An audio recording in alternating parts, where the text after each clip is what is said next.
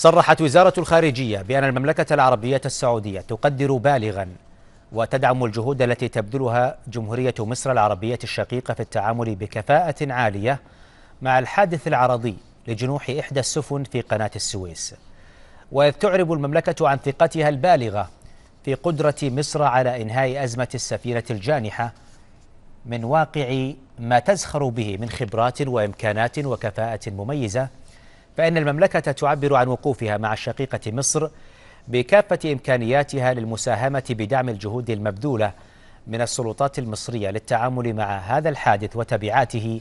وفقا لما تقدره السلطات المصرية. وعن استمرار تواصلها مع الحكومة المصرية الشقيقة لهذا الغرض وبذل كل ما يمكن في مساعدة كافة السفن العالقة في البحر الأحمر.